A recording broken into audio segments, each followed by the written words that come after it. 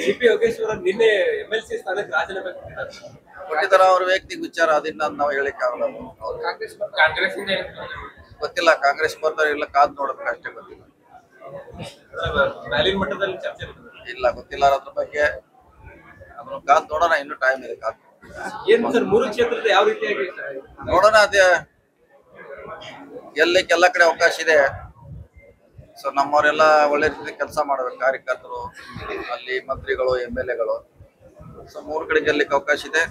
ಪ್ರಯತ್ನ ಮಾಡ್ತೀವಿ. ಸರ್ ದೊಡ್ಡ ಸರ್ ಹಾವೇರಿ- ಡಾಕ್ಯುಮೆಂಟ್ಸ್ ಎಲ್ಲ ಬೈರತಿ ಸುರೇಶ ಸುತ್ತಾರೆ ಅಂತ ಹೇಳಿ. ಗಂಭೀರ ಆರೋಪವನ್ನ ಶೋಭಾ. ತನಿಖೆ ನಡೀತಾ ಇದೆಯಲ್ಲ ಈಗಾಗಲೇ ಲೋಕಾಯುಕ್ತ ತನಿಖೆ ಮಾಡ್ತಿದ್ದಾರೆ. ಸೊ ಅವ್ರ ಗಮನಕ್ಕೆ ಅದು ಮಂತ್ರಿ ನೋಡೋಣ ಅಂತ.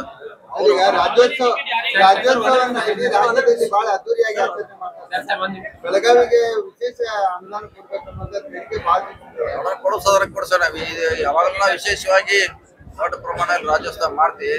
ಈ ಸಾರಿ ಮಾಡೋಣ. ಸರ್ ಹಾವೇರಿ ಸರ್ ಅಲ್ಪಸಂಖ್ಯಾತರ ಸಮುದಾಯ ಅಂತ ಡಿಮಾಂಡ್ ಬರ್ತಾರೆ ಅವ್ರ ಸಂಖ್ಯೆ ಹೆಚ್ಚಿದೆ ಸ್ವಾಭಾವಿಕವಾಗಿ ಡಿಮಾಂಡ್ ಜಾಸ್ತಿ ಇದೆ. ಆದ್ರೂ ಅಂತಿಮವಾಗಿ ಪಕ್ಷ ಅಂತಿಮ. Okay thank you